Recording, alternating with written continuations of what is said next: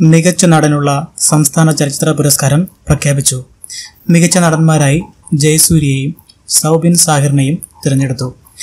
Captain ഞാൻ മേരിക്കുട്ടി എന്നീ സിനിമകളിലൂടെ ജയസൂര്യയും Sudani from നൈജീരിയയിലൂടെ സൗബിനും പുരസ്കാരം സ്വന്തമാക്കി. ഈടയിലൂടെ നിമിഷ സജയൻ മികച്ച നടിയായി. സ്വഭാവ നടനുള്ള പുരസ്കാരം ജോസഫിലെ അനുപമ പ്രകടനത്തിലൂടെ ജോജോ ജോർജ് നേടി. സ്വഭാവ നടി സാവിത്രി ശ്രീധരനാണ്. മികച്ച സംവിധായകൻ ശ്യാമപ്രസാദ് മികച്ച തിരക്കഥ സക്കറിയ മികച്ച പശ്ചാത്തല സംഗീതം ബിജി ബാൽ പിന്നണി ഗായകൻ വിജയ് യേശുദാസ്.